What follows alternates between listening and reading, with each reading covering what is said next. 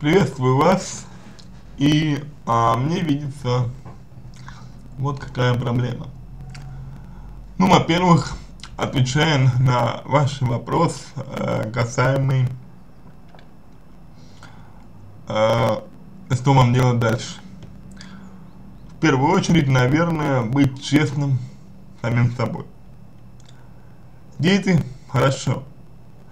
Но если вы не любите свою жену, а у нее чувства к вам проснулись, то нужно, во-первых, понимать, почему у жены проснулись чувства. Вот с чего вдруг у жены проснулись чувства? Внезапно. А все потому, что она почувствовала, что вы перестаете быть ее. Вы перестаете быть полностью ее и принадлежать ей. И она начала подсознательно, осознавая или нет, что у вас появилась другая женщина, стремиться вас удержать. И знаете почему? Потому что понимает, что кроме вас ее терпеть, скорее всего, никто не будет, ибо характер у нее довольно скверный. И вот этот момент заставил вас искать, по сути, перед выбором. Потому что, не любя на вас, не воспылая вновь вам чувствами, решение было бы принять вам легче, я думаю. Дальше, что касается детей. Вы знаете, дети не э, получают удовольствие от того, что вы находитесь под одной крышей с женщиной, с их матерью, которую не любят уже, которую терпите, который у вас накопился негатив, негатив. Ну, дети не могут этого не чувствовать. И что получается? Получается то, что постоянно напряженная атмосфера в доме, постоянно натя натянутое общение, наверное, сон в разных комнатах и так далее. Ведь дети в силу того, что они очень чувствительны, ощущают напряженность между своими родителями. И они не понимают, почему это происходит. Они думают, что в этом виноваты они сами. И из-за этого у них могут возникать трудности. Поэтому как раз таки, принимая во внимание детей, нужно как можно быстрее э, с женой расставить все точки над «и». Э, не берусь судить о ее чувствах к вам. То, что было сказано выше, лишь предположение. Предположение относительно того, э, чем она руководствуется. Вы сами постарайтесь решить, так это или нет. Но со стороны выглядит это все именно так.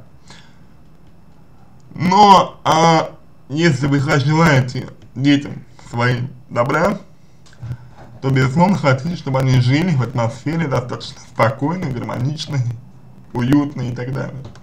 А это будет возможно только в том случае, если вы решите с женой свои конфликты. Поскольку вы ее не любите, любите другую, тянете, тянетесь к другой, то это невозможно сделать дипломатическим путем. А значит, нужно уходить. Уходить, конечно, нужно вам, потому что, что бы там ни было, жену вы больше уже не любите, это понятно, это нормально. Но дальше мы вступа, вступаем в ту сферу, которую можно назвать, знаете как, ваше личное. Вот проблема, по которой все произошло, и сейчас происходит тоже, заключается в том, что вы, все, э, вы постоянно наступаете на свои интересы. постоянно э, приносите себя в жертву. Сперва вы приносили в жертву э, значит, себя своей жене, теперь приносите в жертву себя новой девушке и жене. Если представить чисто теоретически, что вы будете с этой девушкой, то вы этой девушкой, наверное, будете приносить себя в жертву. Так вот, не нужно этого делать. Вы говорите, вы не можете, а, значит, требовать от девушки, чтобы она ушла от мужа.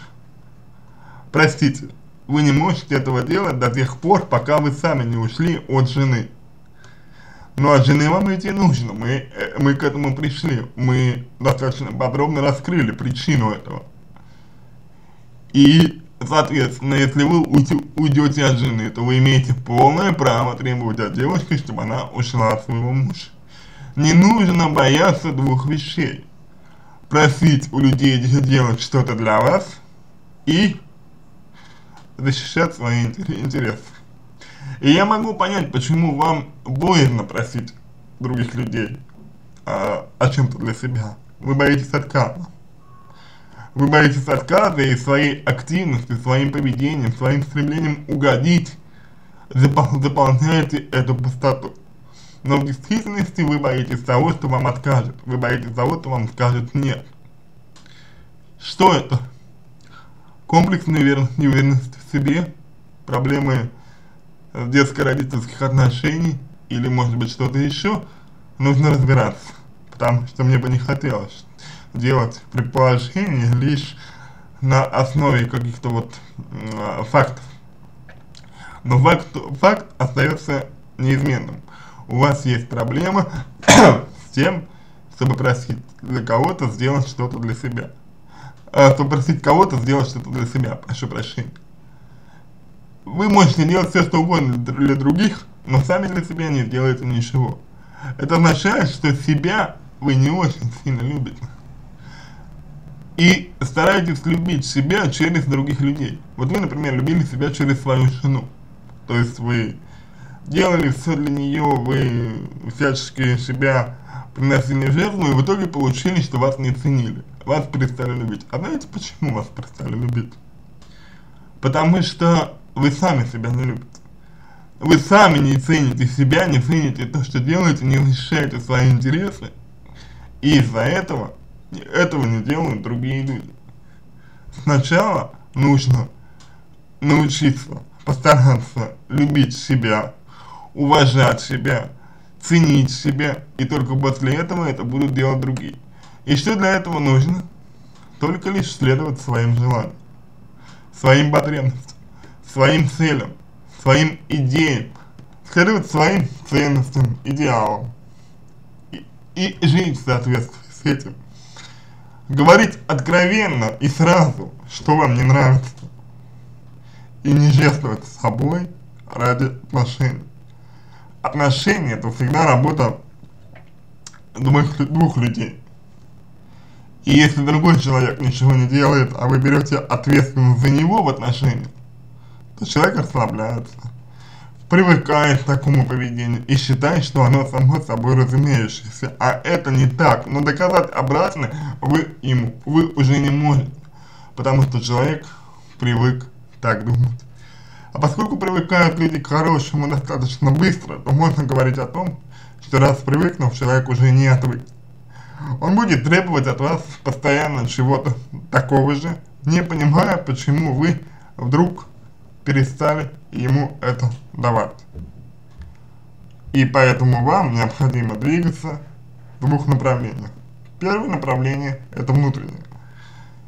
Оно э, поможет вам э, значит, понять, постараться понять, начинать двигаться э, к тому, чтобы понять, почему вы себя любите меньше других, почему вы не уважаете себя, почему вы приносите в жертву себя, и найти у этого корень и устранить его. Далее больше слушать свои собственные желания, достигать своих целей, которые важны лично вам, а не другим людям. И достигая их, понимая, что вы чего-то значите, что вы что-то чего-то достойны и так далее. Внешнее направление кроется в том, что э, детей вы сделаете счастливее лишь в том случае, если у них будет э, благоприятная атмосфера, доброкачественная атмосфера. Для этого нужно разрешить ситуацию с женой. Поскольку чувств к вам, э, поскольку вы к ней ничего не чувствуете уже, а жена к вам тоже, скорее всего, ничего не чувствует, лишь боится потерять, то это нужно прекратить. Разойдясь. Да, это тяжело, но дети от этого только выиграют. Поверьте мне. Ну и когда вы это сделаете, если вы это сделаете, то нужно обязательно попросить девушку тоже принять решение. Либо она уходит от мужа и вы с ней, либо она не уходит и вы живете дальше. Только так и никак иначе. Перестаем приносить себя в жертву, и тогда все будет хорошо. Этом все, надеюсь, э, что помог вам, если какие-то вопросы остались, обращайтесь в личку, пожалуйста, помогу. Если вам понравился мой ответ, буду благодарен, если сделаете его лучшим. На этом желаю вам всего доброго.